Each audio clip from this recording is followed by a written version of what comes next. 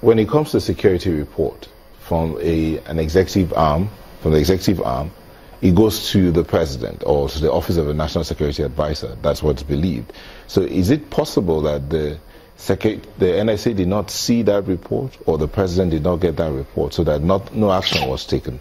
And then when you say Magu needed to be given room to respond to it, is it his place to respond or the office, the presidency to respond?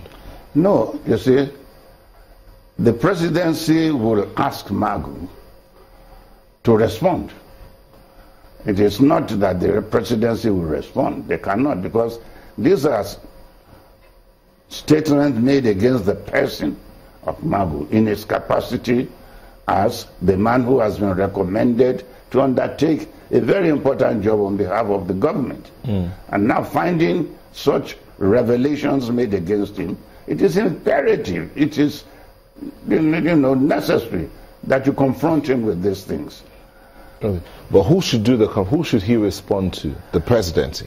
it's the presidency because they are the one recommending him. You see, the Senate has no fault at all in this matter.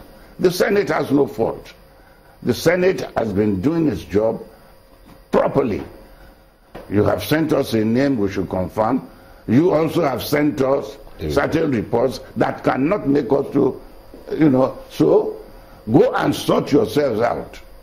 We will not, you know, confirm this gentleman based on your report. So we send it back to you. Go and sort your sort. So the, uh, the Senate has no problem. They are doing their work correctly. The problem lies with the executive. That is where the problem is.